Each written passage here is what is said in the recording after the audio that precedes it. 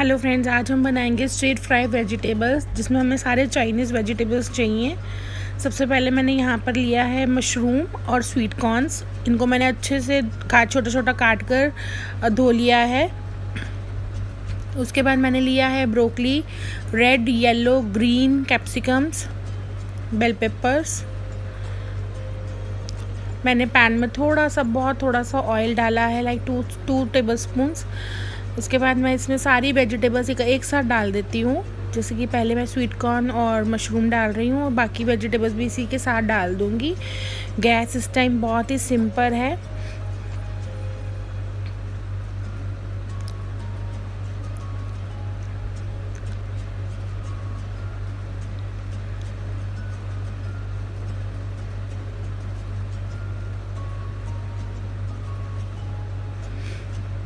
अब आप देखेंगे, इसमें ज़्यादा कुछ भी नहीं डलता है। बहुत ही सिंपल और इजी रेसिपी है, जो कि विद इन फाइव मिनट झटपट बन जाती है। बस इसको अच्छे से थोड़ा सा मिक्सअप करा मैंने। अब मैं इसमें थोड़ा सा सॉल्ट ऐड करूँगी। सॉल्ट आप अपने टेस्ट के अकॉर्डिंगली ऐड कर सकते हैं। और उसके बाद मैंने इसमें कुटी हुई काली मिर्च पाउडर्ड काली मिर्च डाली है थोड़ी सी अपने टेस्ट के अकॉर्डिंग और मैंने यहाँ पर ऑर्गेनो चिली फ्लेक जो मिक्स सीजनिंग आती है, मैंने वो ली है। ये भी आप अपने टेस्ट के अकॉर्डिंग थोड़ी सी डाल सकते हो। इसके अलावा अगर आप पसंद करते हो, इसमें बेबी कॉर्नस डाल सकते हो, आप इसमें पनीर डाल सकते हो। और लास्ट में एकदम आप इसमें बॉइल्ड जो है एग्स डाल सकते हो छोटे छोटे पीसेस करके।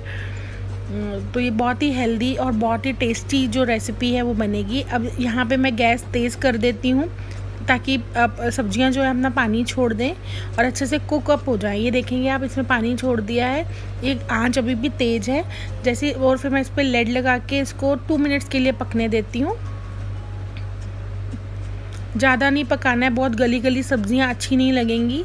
तो हमने कोशिश कर, यही करनी है कि खड़ी खड़ी सब्ज़ियाँ रही। ये देखेंगे आप पानी एकदम सोख सोख हो गया है और ये अच्छे से कुक हो गई हैं और ये रेडी भी हो गई हैं, एक तरह से आप कह सकते हो खाने के लिए।